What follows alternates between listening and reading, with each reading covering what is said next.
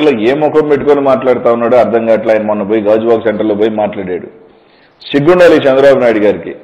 పంతొమ్మిది వందల తొంభై తొమ్మిది నుంచి రెండు వేల నాలుగు వరకు దాదాపు మొత్తం భారతదేశం మొత్తం మీద నూట నాలుగు సంస్థలు ప్రైవేటైజేషన్ అవటం కానీ మూతపట్టడం కానీ జరిగితే ఒక్క ఆంధ్ర రాష్ట్రంలోనే యాభై నాలుగు సంస్థలు క్లోజ్ చేయటమా ప్రైవేటైజేషన్ చేయటమా?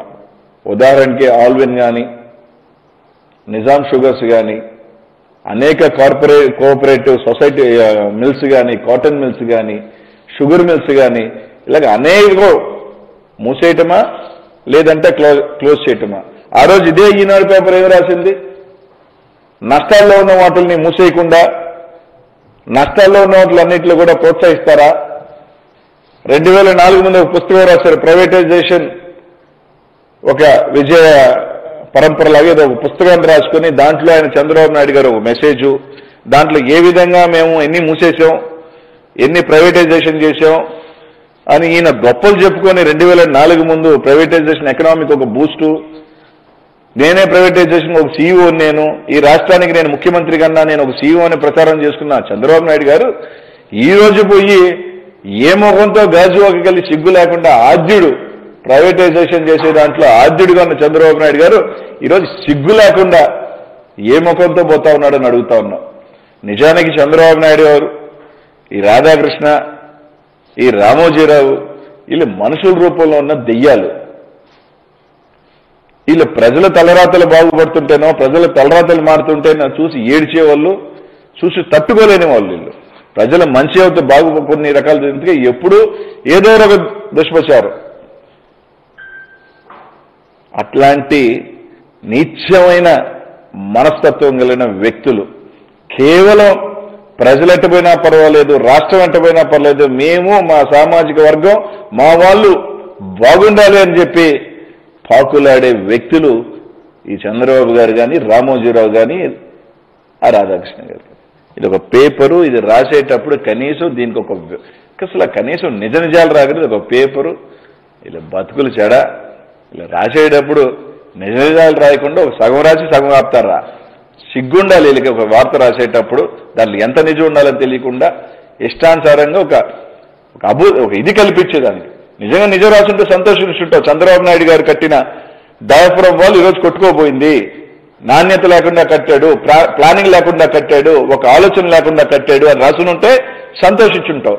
అవన్నీ లేకుండా ఒక వార్త పెట్టి ఇట్లాంటి వార్త పెట్టి డ్యామేజ్ చేయాలనుకున్న ఇట్లాంటి రామోజీరావు గారు కానీ నిజంగా వీళ్ళకి సిగ్గుండాలి. బతుకులు చేడ చూ, ఇది ఒక పేపరు.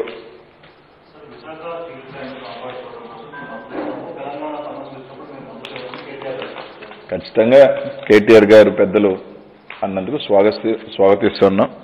ఏదైతే విశాఖ ప్రజల యొక్క ఏదైతే స్టీల్ ప్లాంట్ కార్మికులు కానీ లేకపోతే నిర్వాసితులు కానీ అక్కడ ఉన్న వాళ్ళందరూ కూడా చేస్తున్న ఆందోళన కానీ ఈరోజు మొత్తం కూడా దానికి మద్దతు ఇస్తానందుకు ఆయనకి ధన్యవాదాలు స్వాగతిస్తున్నాం.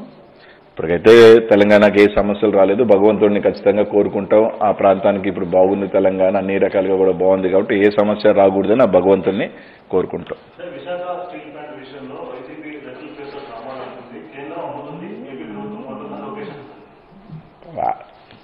ఆ- పప్పు గురించి కూడా ఏం మాట్లాడతాం. ఆ పప్పు గురించి కూడా. ఈరోజు వచ్చిన తర్వాత వార్త స్పష్టంగా ప్రధానమంత్రికి ఒక లేఖ రాశాడు. జగన్మోహన్ రెడ్డి గారు. ఏ విధంగా దాన్ని మనం దాన్ని ఇంకా కూడా డెవలప్ చేసుకోవచ్చు? అఖిలపక్షం వేస్తాము ట్రేడ్ యూనియన్స్ వస్తాము అపాయింట్మెంట్ ఇవ్వని చెప్పి స్పష్టంగా ముఖ్యమంత్రిగా ఆయన లేఖలో ఏ విధంగా కాపాడుకోగలను రాశాడు దానికి ఆయన అమ్ముతారంట ఈయన కొంటారంట. ఎట్ట? గతంలో లాగా చంద్రబాబు నాయుడు చేసిన పనుల్లాగానా? ఆయన అమ్మిని నామా నాగేశ్వరరావుకి వాళ్ళ వాళ్ళకి కట్టబెట్టాడు సార్ ప్రభుత్వ సంస్థలను అందరినీ కూడా తీసుకువచ్చి చంద్రబాబు నాయుడు గారి చరిత్ర నైన్టీన్ నైన్టీ నైన్ ట్వంటీ ఫోర్లో అమ్మిన సంస్థలన్నీ కూడా తీసుకుంటే నామా నాగేశ్వరరావుకి వాళ్ళ వాళ్ళ వర్గానికి వాళ్ళ వాళ్ళ సామాజిక వర్గానికి కట్టబెట్టాడు. పచ్చగామిరులు ఉన్నోడికంతా లోకమంతా అంతా నా బుద్ధులు మాకున్న బుద్ధులు అందరికీ ఉంటాయి. మాకున్న దరిద్రమైన అలవాట్లు అందరికీ ఉంటాయి. మేము చేసిన మా నాయన చేసిన ఎదవ పనులన్నీ కూడా ఇంకొకరు కూడా చేస్తారు అనుకోవటం అది వాళ్ళ వారసత్వం అని చెప్పి తెలియజేస్తా ఉన్నా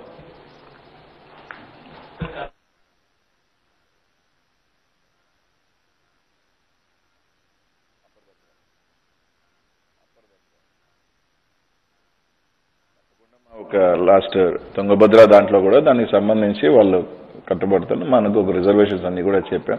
దానివల్ల మనకు రావాల్సిన వాటర్ కానీ అలొకేషన్ అంతా కూడా ఇబ్బంది అయిపోయింది చెప్పి దాన్ని తప్పకుండా కూడా పూర్తిగా కూడా ఇది తీసుకుని తప్ప మాట్లాడతాం.